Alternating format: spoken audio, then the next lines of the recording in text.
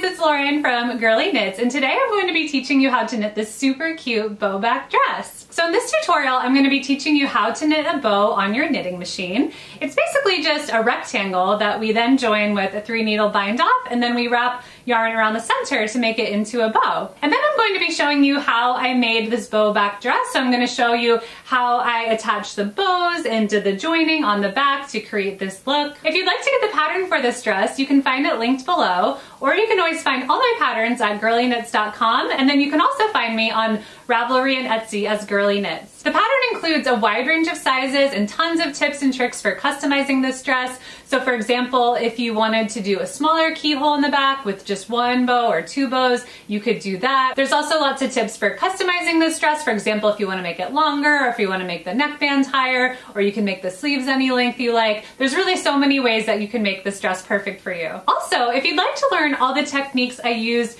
to make this dress, including how to do this mock ribbing for the bottom band, how to do increases, how to do decreases, how to do all of the shaping for the neckline and the shoulders and the sleeves and the neckband and the keyhole. I have another five part series covering all those techniques which I will also link to below. The yarn I used for this dress is Knit Picks Brava so I've actually used it in both the worsted weight and the sport weight. So for the dress I'm wearing I actually used the worsted weight version of this yarn and then for the dress I'm showing you I used the sport weight. So I found that I was actually able to get the gauge with both yarns surprisingly and I used T T5 for the sport weight and T5.5 for the worsted weight. So the worsted weight is just going to be a little bit thicker and then the sport weight is going to be a little bit thinner. So it really depends on your preference, but I found that either yarn will work. The gauge we're working with today is 19 stitches and 27 rows equals 4 inches in stockinette. So just make sure you're using the dial tension to get the gauge, but honestly you can make this bow on any knitting machine or any dial tension. It really is a really simple thing that you could do on any machine. Alright, so you'll just need to thread up some waste yarn and your main yarn and let's get going.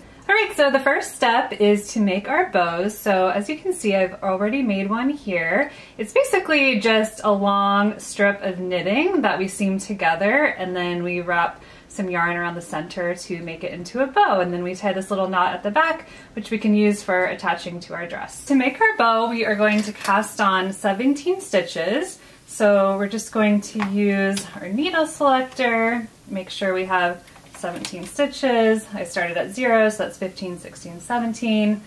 And then we are just going to cast on with waste yarn. So I'm just going to thread that through. And then for our dial tension, we just want to use whatever the main tension was of our dress. So I used T5 for this dress, but you might have used T5.5. So just use whatever that was. And then we're just going to take our waste yarn, run it across. And then we're going to take our cast on comb and hang that. We're going to just make sure that every needle is selected. And then move our yarn across again. So all 17 are going. And then we're just going to continue knitting with our waste yarn.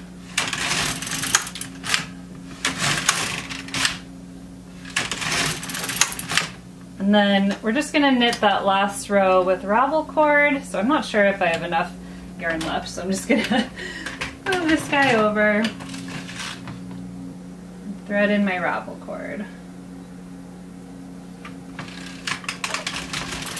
It's just gonna make it easier to remove or waste yarn later. Okay, so now that we have that, we are going to join our main yarn. I'm just going to secure my yarn in these little notches here. So we're gonna join the main yarn, and we're gonna set our counter to zero. And then I'm just going to knit 50 rows, pretty simple. So I'm gonna get my weight set up.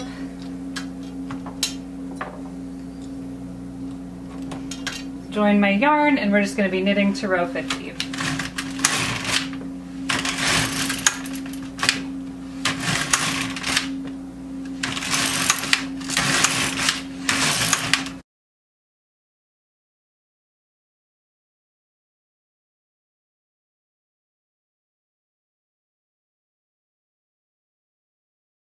All right, so I've just reached row 50. So we are going to scrap off with waste yarn, but we wanna leave our yarn attached. So I'm just gonna take it out of the carriage and then place it in this notch at the back of the carriage and we'll come back to that later. So I'm just gonna get some waste yarn. We're gonna join that in the carriage and then just knit about an inch.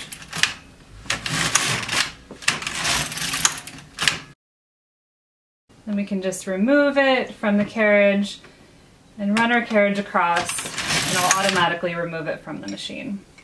So we've got our rectangle here, it looks good. And next we're just going to do a three needle bind off. So to do the three needle bind off, we're first going to hang our first row of the knitting, which is where our ravel cord is, with the right side facing. So I'm just going to grab my three prong transfer tool and we'll just be hanging those stitches. So I see the first three right here. So I'm just going to grab those and hang them on the machine. And I'll just start at 17 since that's how many stitches we had. But you will notice that there's actually going to be one less stitch this row since it was our first row and we flipped our knitting upside down. There will be one less, so we're actually going to end up with 16, but we'll have 17 on our last row and I'll show you what to do there. So yeah, we have one less there. So we have that hung and we're just gonna remove the waste yarn.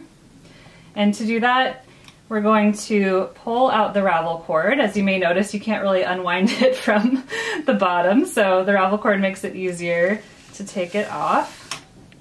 So we're just gonna undo that and make sure all of our stitches are hung.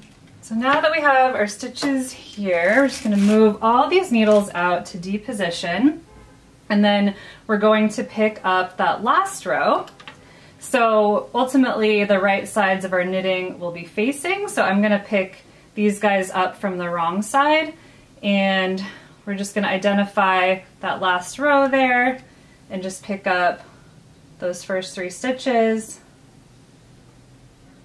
and then we're going to hang them in the latches. So we just want to hang them in the latches because we're actually going to be pulling these needles through to join them to the other stitches. So just make sure that they're in the latches and not pushed back.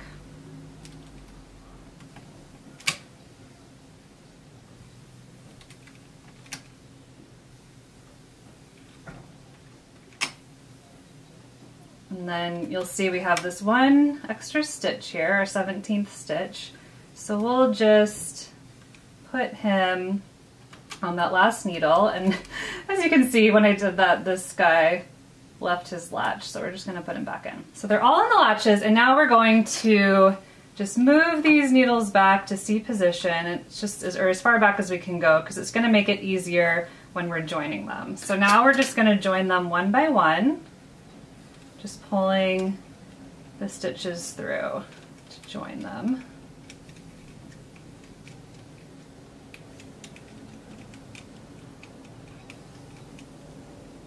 And then that guy doesn't have a join, but we'll just pull his latch to the back because we were going to bind off next and we want to make sure he gets bound off too. So you can remove your waste yarn at any point, either after you do your bind off or you can do it now to get it out of the way. I'll just go ahead and remove it now. And now we're just going to use the yarn that is still attached to our ball to bind off. And when I'm binding off, I find it helpful to have a little bit of weight, so I'm just going to hang one claw weight there and then using my one prong transfer tool, I'm gonna take this last stitch, whichever one is closer to your yarn, and you're gonna transfer it over to the next stitch. And then you're gonna place the yarn in the latch and pull it back to bind off. We're just gonna keep doing that for every stitch. And you don't need to do any sort of fancy bind off. Um, you're not really going to see this part because it will be on the inside back of the bow, so you don't need to do anything fancy. And I also noticed that with a three needle bind off, since it's on the inside of your knitting, it doesn't really matter how you do it because you, you won't really notice it from the outside. So this is totally fine. And honestly, I'm not even sure that your tension matters that much because it's gonna be bunched up at the middle when we wrap our bow center. So really, you can just not have to worry. All right, so we're just reaching that last stitch. Just gonna bind that off. And then before you break your yarn, I'm going to have you leave a tail so that you have enough to wrap the center of your bow. So I'm gonna have you leave a 96 inch tail. So just gonna grab my ruler. And 96 inches is actually four times the length of my ruler. So I'm just gonna go one, two, three, four, and then break my yarn. And then we're going to pull that through that last loop. And then now we have our joined rectangle. So the next step is just to wrap the center of the bow. So we're going to place this bind off edge at the back and then we're going to leave this tail attached there. We're going to use it later. And then we're just going to wrap this long tail around the center of the rectangle.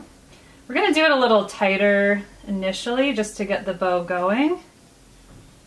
And then once that looks good, we can just wrap.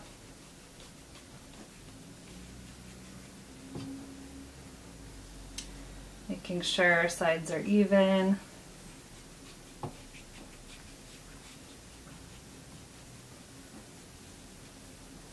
And then just go until it's about equal length as the cast on tail. And then we're just gonna knot those together at the back. One and two.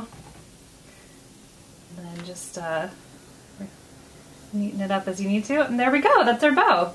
All right, so now we're ready to add our bows to our dress. So the first thing we're going to do is seam our dress in two different places where we're going to join our bows. And so when you're knitting this dress pattern and making the large keyhole that incorporates the bows, I had you place markers and that was so it'll be easier to see where you join the keyhole and so that all the keyholes will be evenly spaced and it just makes it a little simpler so you don't have to guess. So we're just gonna grab a scrap of the color of our main yarn and we're just going to do mattress stitch for about eight rows or an inch or however long you like and so I'm just going to start the row right above where I placed my marker. So I'm just gonna come in through here. And then we're just gonna go to the other side and just grab the two bars above the marker there. Pull that through. Then we're just gonna continue doing mattress stitch.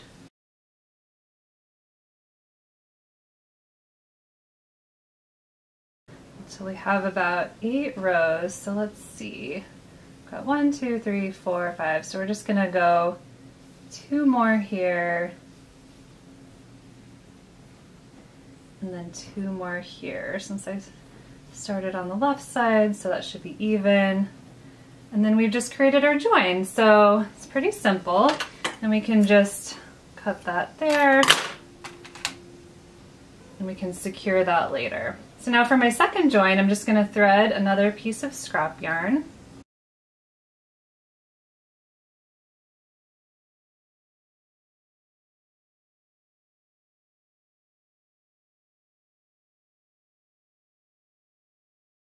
So you may wish to try your dress on and just make sure that you like how it looks. Um, this join here is intended to help cover your bra strap, hopefully. So hopefully that's like in the right place. And if you just want to double check that before moving on, we're just gonna flip our dress to the inside. And now we can remove these markers. We don't need those anymore. And then we just want to secure these pieces of yarn. So what I like to do is take each end and just grab two stitches there. And then just do a knot to secure it. So that should be good.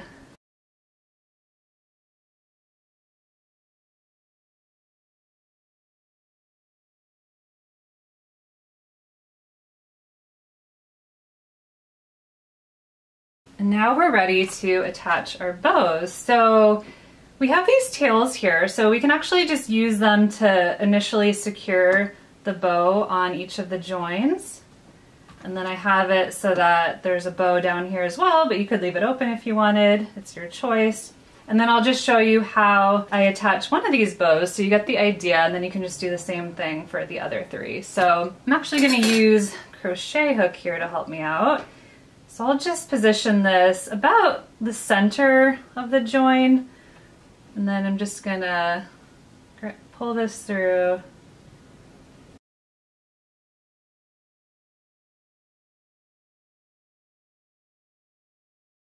So that seems like it's in a pretty good position. It covers the join, so you won't even notice that join there. And then I'm just gonna grab my tapestry needle and we're gonna secure the bow to the dress. So as you may notice, it's like a little floppy. It might like, you know, go upside down or do like pinwheels. So we wanna make sure that it's secure in its spot. So to do that, we're going to go to the inside of our dress again. And then we're going to thread these two tails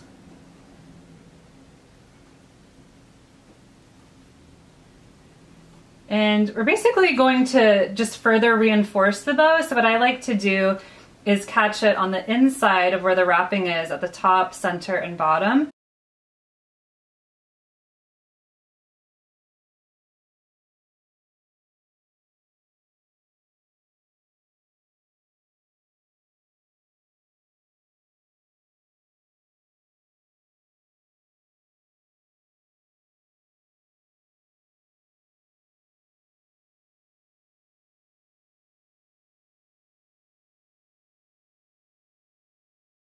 Now let's go take a look at our bow. So as you can see, it's not wobbling around. It's not gonna go anywhere.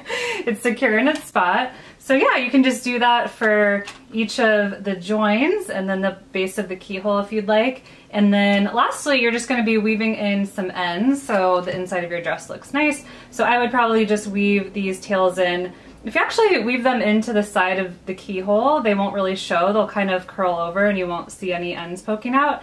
And then for this, if you want this to look even neater and not notice this contrast yarn, you could actually bring these tails to the other side and weave them into the back of the bow because you won't see that when it's facing out. So whatever you wanna do, just weave them in somehow and it will look really nice. So I hope you enjoyed this tutorial and I would love to see your bow dress if you make one. Let me know how it turns out and I would love to see photos. I hope you enjoyed this tutorial and if you do make this dress, please share photos with me. I would love if you shared them on Ravelry or on Instagram where I'm Girly Knits. If you like this video, please let me know and comment below and let me know what you'd like to learn next. Bye!